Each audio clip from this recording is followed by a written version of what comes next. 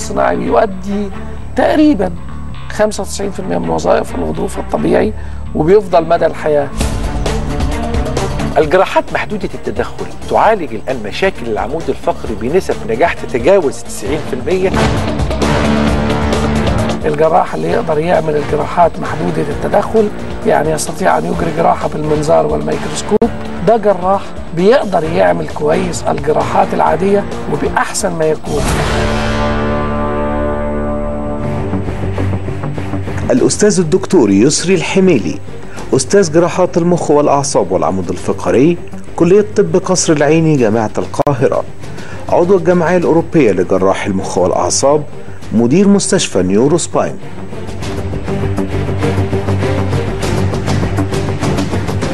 أهلا بكم. طبعا النهارده حوار مثير ومهم جدا حول أمراض العمود الفقري وجراحاته.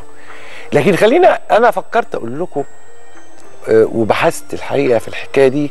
طبعا ممكن يكون كلامي مش دقيق قوي بس يعني آه، إحنا آه، آه، يعني تعبنا في البحث في النقطة دي. أخطر حاجة ممكن يتعرض لها الإنسان في الحركة إيه؟ حاجات كتير. طبعا بتختلف من شخص لشخص. وكل حاجة غلط خطر طبعا. لكن لقينا انه كل الأبحاث اشتركت أو كتير من الورق البيبرز كتب إنه اللفة المفاجأة مع حمل تقيل. إن واحد يعني أكتر شيء وأخطر شيء يتعرض له الإنسان هو دوران العمود الفقري في حركة دائرية مفاجأة مع حمل وزن تقيل في نفس الوقت. وده بيحصل كتير في مصر. يعني اللي هو بقى فكرة إيه؟ إن واحدة ست مش قوية قوي تشيل كرسي عشان تنقله. فبتشيله ده حمل وزن تقيل. تروح جاية لفة كده. اللفة دي في منتهى الخطوره خطرة جدا. هو ده أخطر من واحدة من أخطر الحركات. وفي حركات تانية كتير بتضر العمود الفقري إحنا بنعملها. طريقة النوم طريقة القعدة في العربية طريقة ال- الحركة طريقة الجلوس في المذاكرة اللي بقت تبقى فيها مشكلة.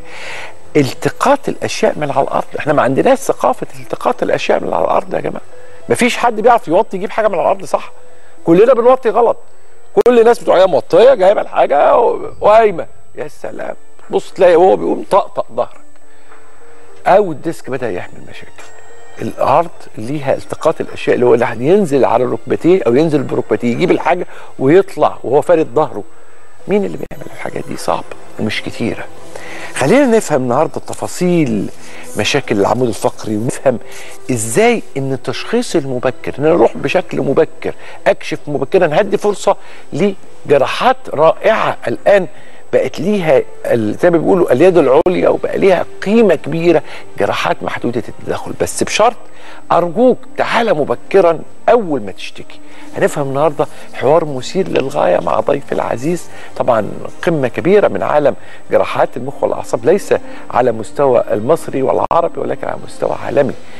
قدم الثقافة الطبية الخالصة في جراحات المخ والأعصاب ودائما يبهرنا بحديث علمي متقدم للغاية وبمستوى تكنولوجي بينقله من غرفة العمليات إليكم على الشاشة الصغيرة. ضيف العزيز أستاذ الأساتذة الجراح الكبير أستاذ الأساتذة الأستاذ الدكتور أنور يسري الحميلي. يسري أنور الحميلي. أهلا بك يا دكتور يسري. أهلا دكتور. أيمن دايما م- مرتبط أنا باسم أنور دي. آه، عشان يمكن على الطريقة الأوروبية. يعني آه، منورنا دكتور يسري. الله يحفظك. ال- عايز أروح لسؤال. فعلا هل دي أخطر حركة قبل ما أدخل في جراحة التدخل بص هو في حاجة مهمة جدا كتير ما يعرفهاش يمكن بعض برضو الأطباء الصغيرين أو الم- المش متخصصين قوي. آه علم اسمه biomechanics of spine أو عالم الحركة البيولوجية للعمود الفقري. وده علم مهم جدا جدا اللي بيقدر اللي بيشتغل في العمود الفقري. لو ما عندوش دراية بيه كافية مش هيبقى بيشتغل بشكل كويس. في ظل التقدم والثورة العلمية النهاردة اللي عملت لنا واستحدثت لنا حاجات كتير جدا كلها نشأت كبديل أو كاستعاضة عن الحاجات اللي بتبوظ في العمود الفقري. بدأت بتثبيت الفقرات بدأت بالشرايح بالمسامير انتهت بالغضروف الصناعي انتهت بحاجات تقنيات عالية جدا. مين يقدر يقول أعمل ده ليه؟ وأحط ده فين؟ وأشتغل ده إيه؟ وأثبت إزاي؟ وده أثبت للعيان وده ما ثبتش للعيان. هو اللي عنده دراية عالية بما يسمى بعلم الحركة البيولوجي. للعمود الفقري وبالتالي ده اللي يقدر يحط للمريض بتاعه ال system أو الأساس أو الطريقة أو النظام في حركته. كل واحد فينا عنده جسمه له بنيان. البنيان ده علشان ما يحصلش أي ضرر لابد إن أنا أتعامل مع بنيان جسمي بالطريقة اللي تناسبه. في واحد يقدر يرفع 30 كيلو من الأرض وفي واحد ما يقدرش يرفع أكتر من 3 كيلو. أنا هيئت الجسم ده إزاي؟ وعملية التهيئة دي نفسها لأن أنا برضو لا زلت بشوف ولاد صغيرين جدا في السن راحوا يلعبوا جيم بطريقة غير منظمة أو من غير مدرب أو بشكل هميوني فجاله انزلاق غضروفي وللأسف جسمه زي الفل وشكله هايل جدا وعضلاته يعني حاجة جميلة وتعمل أشعة تجد إن عنده انزلاق غضروفي أو فقرة تضررت من إنه عمل الرياضة بشكل خاطئ. وبالتالي ده مفهوم مهم جدا. عايزين ولادنا يبقوا حاطين عينهم عليه عايزين ثقافتنا الطبية بتبقى بتقول يا جماعة مش كل حاجة نقدر نعملها هنعملها. ولابد من الاهتمام ب زي ما بنقول كده ثقافة الاهتمام بالعمود الفقري تتربى عند ولادنا منذ الصغر.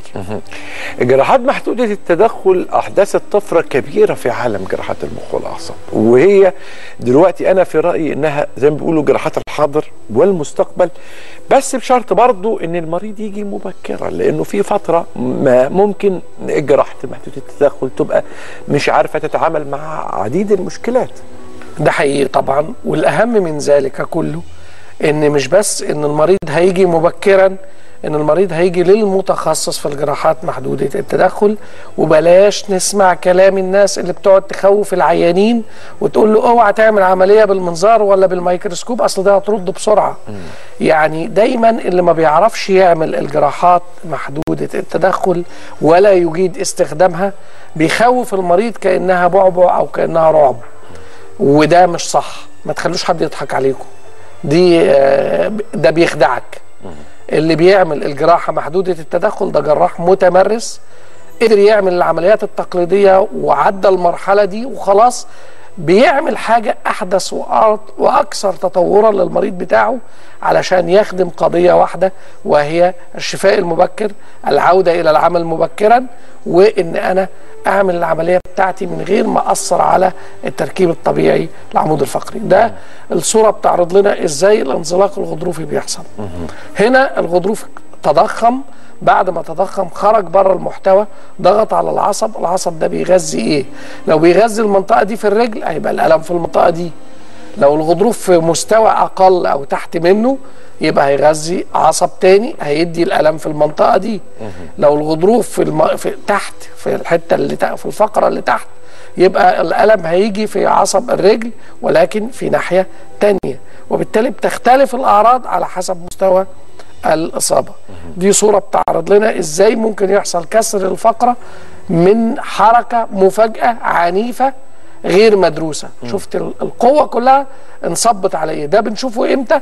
ممكن نشوفه في واحد نط من فوق علشان ينزل في المية اتخبط في صخرة. آه. فالفقرات ردت لورا اتكسر العمود الفقري أثر على الحبل الشوكي. الكورة يا فندم برضو ده كتير. و آه، يعني في الكرة بس نادرا ما بيحصل آه. لأن مهما كان إصابة الكرة بتبقى الوزن بتاعه مش بال مش بالقوة لكن ده بيبقى الوزن والجرافيتي والجاذبية والاندفاع بتبقى حاجات كتير قوي هنا برضو بيعرض لنا الأماكن الأكثر تعرضا للإصابة في العمود الفقري بالتآكل والخشونة والغضاريف وهي الفقرات القطنية. وليه؟ لأن بعرضها لحمل كبير معظم الوقت هي شايلة وزن الجسم كله وفي نفس الوقت عليها معدل حركة عالي جدا. أقل الفقرات ضررا الفقرات الصدرية. تاني حاجة بالتالي الفقرات القطنية هي الفقرات العنقية. ودي بقى مرض العصر بالنسبة للي قاعدين على المكتب بالنسبة للي بيستخدموا رقبتهم بشكل كتير في السواقة.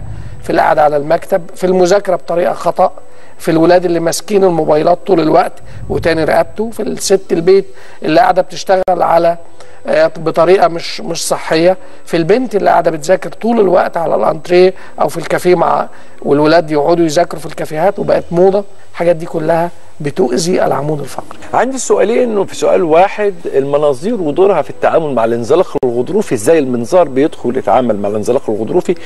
برضو كلاسيكيا إيه حدود المنظار؟ يعني كم انزلاق غضروفي؟ بعدين المنظار يقول لك مش مش هقدر أشتغل أو خلاص دي حدودي. هل هناك السؤال الثاني بقى هل هناك حالة آه، صراع أو تنافس بين المنظار والميكروسكوب؟ هل المنظار عدو الميكروسكوب أو الميكروسكوب عدو المنظار؟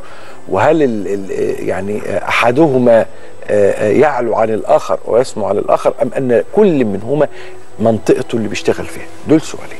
الحقيقة في مجال الجراحة الجراح الشاطر بيستخدم كل التولز الوسائل المتاحة لتطويعها لإجراء عملية جراحية ناجحة. تصور أنت بترسم لوحة وواحد يقول أنا متحيز للون البني واحد يقول أنا متحيز للون الأزرق للسماويات. مفيش كده. اللي بيرسم لوحة ده محتاج جميع الألوان. إحنا محتاجين في العملية بتاعتنا كل التقنيات دي. دون أن تطغى أخ واحدة على الأخرى. إحنا ما بنتحيزش الحاجة الجراح الشاطر بيقدر يعمل العملية بتاعته بتطويع كل هذه الأساليب. المنظار ممكن أستخدمه خطوة واحدة في العملية. ممكن أستخدم الميكروسكوب في خطوتين ثلاثة ممكن أدمج الاثنين مع بعض. دي عملية بنشيل فيها الغضروف بالمنظار. زي ما إحنا شايفين دخلنا فتحة صغيرة جدا جدا في الجلد ودخلت الآلات الجراحية. هستخدم الجراحة الملاحيه عشان توريني الصورة راكبة على الأشعة بتاعة المريض عشان لما أشيل الغضروف أتأكد تماما إن أنا شلت الغضروف اللي عليه المشكلة. هستخدم استحداث استحساس عصب عشان أقدر أقيس الكهرباء جوه العصب ويا ترى العصب ده حاجة مسته ولا لأ. هستخدم الميكروسكوب في تكبير الصورة وبالتالي لما بيبقى عندك أبناء وأنت راجل أب مثالي ما بتفضلش ابن على الآخر. هتفضل ابن على الآخر لو انت أب مش مثالي. نفس القصة. كل دي وسائل وأساليب إحنا بنحبها كلها. والجراح الشاطر اللي بيقدر يلعب بأكتر من حاجة وببراعة ويستخدم هذه التقنيات. النهارده ما بقاش مسموح إن واحد يقول لك اوعى تعمل العملية بالمنظار أصلا بترجع تاني. اللي بيعمل عملية بالمنظار ده جراح بيعمل العمليات الجراحية بدقة عالية جدا جدا ويقدر يعمل العملية بدون هذه الوسائل. طب هو ليه بيستخدم الوسائل دي؟ علشان يضمن لمريضه الدقة سرعة إجراء العملية وأهم من ذلك المحافظة على الأنسجة الطبيعية. هنا أهو بنشيل الغضروف وبنحط غضروف صناعي. الغضروف الصناعي ده هو بديل للغضروف الطبيعي.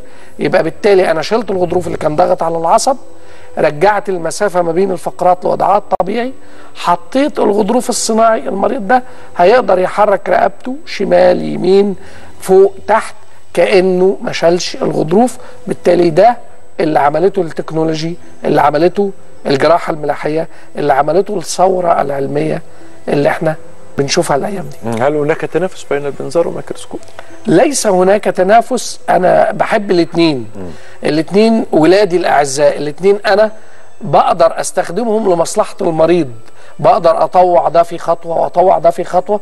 وطالما أنا بأجيد استخدام الاثنين يبقى أنت عندك أحسن لاعب في الملعب اللي بيقدر يشوط شمال ويمين واللي يقدر يلعب wing left wing right joker. تصور ده جوكر. تصور ال ال دايما ده بيبقى عند مين؟ اللعيبة اللي هم left handed أكتر. by the way أنا left hand الجراح أسرع ربع ثانية. الجراح ال- آه. الناس اللي بتستخدم الناحيه الشمال أسرع في رد الفعل ربع ثانية. هي ميزة كمان إن لما باجي أعمل عملية جراحية ما ببقاش مرتبط بناحية. أها. يعني أنا ممكن أفتح أعمل للمريض عملية الرقبة من ال- المنظار من ناحية شمال من ناحية يمين بالميكروسكوب من ناحية شمال من ناحية يمين. ما عنديش تحيز لناحية واحدة ودي بتبقى حاجة يعني ده بالمناسبة بس يعني عرضا. فعايز أقول إن إحنا مفيش حاجة مفضلة على حاجة طالما إن دي هتخدم قضية مهمة جدا هقدر أعمل للمريض بتاعي العملية بنجاح منقطع النظير يبقى هستخدم دي هستخدم دي هستخدم دي. وهقدر لما يبقى عندي آه تصور أنت داخل آه محل كبير قوي. hyper market مثلا. آه ده فيه كل حاجة. وبتطلب بضاعة معينة هتلاقي كل حاجة موجودة على الرف. قارن نفسك لو انت دخلت كشك صغير بتسأل على حاجة مفيش غير حاجة واحدة هيديك اللي عنده بس. ما تخليش حد يسوق لك بضاعة واحدة. روح للي عنده كل حاجة هتجد عنده كل حاجة بتقنية عالية جدا وهتجد نفسك بتعمل مجهود أقل في الحصول على أحسن حاجة. ال- السؤال المشهور قوي آه، في الجراحة الملحية وتثبيت الفقرات. التثبيت تثبيت الفقرات لأنه الزحزحة الفقرية بقت موضوع منتشر جدا وبقت حالة مزعجة للغاية جدا. هل المنظير والجراحات محدودة التدخل لها دور في تثبيت الفقرات؟ طبعا الجراحة الملاحية لها دور كبير جدا في تثبيت الفقرات وأكبر عمليات تثبيت للفقرات فيها تعقيد وتداخلات معقدة جدا هي تثبيت الفقرات العنقية ودي أنجح طريقة للتثبيت هنا في الفقرات العنقية باستخدام الجراحة الملاحية. شوف بقى الجراحة الملاحية بتعمل إيه؟ صورة الأشعة معروضة على الشاشة وأنا بدخل بالمنظار وأنا داخل بالمنظار الجراحة الملاحية بتدمج لي صورة الواقع مع صورة الأشعة. فكأن أنا داخل بطلع الغضروف اللي باين في الأشعة ده بالواقع الرياليتي أو زي ما بنقول اللي آه زي ما بيقولوا كده ال- ال- ال- العملية الواقعية. أنا أنا بدمج الصورة اللي طالعة مشخص فيها الغضروف والغضروف باين فيها بوضوح مع الواقع بتاعي وبالتالي لا يمكن الخطأ. في كتير جدا من العمليات اللي مكتوبة من مضاعفات العملية ميزد ليفل أو إنه يعمل الخ... المستوى الخطأ يبقى عيان عنده غضروف ما بين الرابعة والخامسة ويعمل له الثالثه والرابعة بالخطأ. النهارده الكلام ده لما تقوله قدام حد بيشتغل بالجراحة الملحيه يضحك كتير جدا. دي نكتة لأن ما ينفعش ما ينفعش ده يحصل. ما ينفعش إن وأنت بتعمل تثبيت للفقرات باستخدام تقنيات الجراحة الملاحيه إن المسمار يدخل في مجرى الحبل الشوكي أو في مجرى العصب أو يلط العصب بالبلدي زي ما الناس بتقول. ليه؟ لأن أنا بدي إحداثيات ثلاثية الأبعاد عن المكان. شوف الفتحة قد إيه. شوف حطينا بلاسترة صغيرة جدا مكان ما دخلنا علشان آه، عملية كبيرة بيتفتح لها أربعة آه، خمسة إنش أو عشرة سنتي والمريض بيقعد لابس حزام ويعمل لا ما عندناش الكلام ده. إحنا بندخل علشان عندنا تقنيات حديثة بندخل من فتحة صغيرة جدا قد تكون ثقب زي زي قطر القلم الجاف. ومن خلالها بنعمل العملية والمريض بيخرج مفيش درنقه بقى مفيش أي حاجة. أي حد في البيت يقدر يغير البلاسترة دي بعد يومين ثلاثة أو كل يوم مثلا. والمريض ده ما عندوش غرز بقى يفكها والكلام ده كله. هيسمح له بعد ما يفوق من البنج إنه يقف على رجله إنه يخش التواليت إنه يبدأ يتحرك يطلع ينزل سلم. لو بعمل عملية غضروف في الرقبة مش هلبسه رقبة لو بعمل عملية في الظهر مش هلبسه حزام وبالتالي خدمت الجراحة الملاحية نقطة مهمة جدا جدا وهي الدقة المتناهية السرعة في الأداء الحفاظ على التركيب الطبيعي اللي ربنا عمله في العمود الفقري ودي كانت أهم أسباب ولا زالت أهم في أسباب فشل العمليات التقليدية في إنها تحقق للمريض النتيجة اللي هو عايزها. إن أنت بتدخل تشيل غضروف عشان تشيل غضروف بتشيل جزء من الفقرة بتشيل عظم طبيعي ربنا خلقه يعمل وظيفة. النهارده بوسائل محدودة التدخل ما بقاش مسموح إنك تشيل حاجة من العمود الفقري. أنت بتحافظ على الكيان الطبيعي اللي هو طبيعي اللي مش طبيعي هو بس اللي هتشيله. إيه اللي مش طبيعي؟ ممكن يبقى غضروف هتشيل الغضروف. ممكن يبقى حتة ضيقة في العمود الفقري هتعمل توسيع في العمود الفقري دون أن تحدث عطب أو تغيير في الطبيعة اللي ربنا عملها. ودي ميزة كبيرة جدا جدا.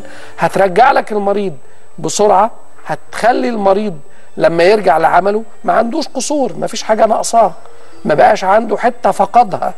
وبالتالي هيبقى وصلت إلى ما يقرب من المعدل الطبيعي اللي ربنا عمله. التردد الحراري بقى برضه fashion يعني في عالم جراحات المخ والأعصاب وبقى موجود وله قيمته في تخفيف الألم خصوصا بعد جراحات محدودة التدخل. فعايز أفهم mechanism التردد الحراري إزاي بيقلل الألم؟ شوف من أنجح الحاجات اللي بنستخدم لها التردد الحراري هي آلام العصب الخامس.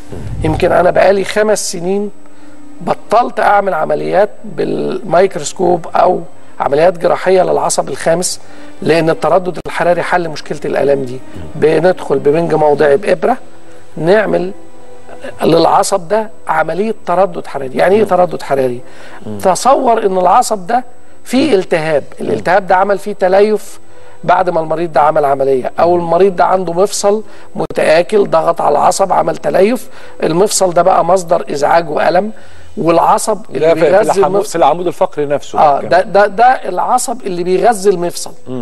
وبالتالي لما المفصل بيلتهب العصب ده بيحصل فيه تليف يدي ألم يطلع كهرباء مستمرة عمالة الكهرباء دي تطلع لنا ألم في ظهر المريض ينزل على رجله ينزل على وسطه ينزل على ظهره. من أشهر الحاجات اللي بنشوفها إن المريض تعمل له عملية تثبيت فقرات ويجي له التهاب في مفصل الحوض. هنا دور التردد الحراري. إيه التردد الحراري كانوا زمان يعملوا كي للعصب عشان يموتوا العصب فالعصب بتاع الإحساس ده يبطل يطلع إشارات الألم. الكي ده كان له عيوب كتير جدا إنه بيموت العصب بيفقد الإحساس. آه وصلوا بالعلم إلى إن في تيار متردد بدرجة معينة بفولت معين بنسبة معينة بتكرار معين اسمه pulsed radio frequency أو تردد اللي هو ت- التردد حراري متقطع. بي- بيجي على هيئة pulsed يعني pulsatile يعني, يعني- آه pulsation يعني نبضات. نبضات. نبضات من التردد الحراري سريعة جدا الم- المسافة ما بينها قليلة. بطلع بفولت معين بديه للعصب. لقوا إن ده بيعمل إيه؟ بيقفل بوابات الألم. أو البين جيتس اللي بوابات الألم اللي هي بتبقى مفتوحة توصل إشارات الألم. دي بس اللي بتتقفل الإحساس بيفضل زي ما هو الحركة بتفضل زي ما هي. يعني العصب الناقل للحركة بينقل إشارات الحركة. العصب الناقل للإحساس بينقل إشارات الإحساس. وحده بس العصب الناقل للألم اللي التردد الحراري ده بيقفله بس. مش لأني ما عنديش هذه التكنولوجيا أبدأ أهاجم ما لا أمتلكه. هذه هي نقطة هامة جدا وصريحة جدا في عالم الطب. أنا صريح جدا في الحتة دي وأكيد ضيفي العزيز. أشكرك شكرا جزيلا على تنويرك لنا النهارده بهذه المعلومات الرائعة والشرح التفصيلي لواحدة من أصعب وأعقد أنواع الجراحات وهي الجراحة الملاحية. نورتنا. دكتور. شكرا يا دكتور عيد ضيفي العزيز القيمة العلمية الكبيرة والجراح الكبير الأستاذنا الأستاذ الدكتور يسري الحميلي كان في الناس الحلوة. خليكم مع الناس الحلوة. لو قلت لك إنه يعتقد الكثيرون إن تكميم المعدة لا تصلح لمريض السكر ده اعتقاد يبقى صح ولا اعتقاد خاطئ؟ هل تحويل المسار في المرضى اللي عندهم سكر في سن صغير هتجيب إن هي تشفيه بنسبة 100% من واقع الأمر لأ خاصة لو المريض ده بياخد إنسولين. مش كل درجات السكر واحدة. ومش كل الناس جالها سكر في وقت واحد. هيبقى في مريض جه سكر من 15 سنة وفي مريض جاله سكر من 10 سنين في مريض جاله سكر من خمس سنين.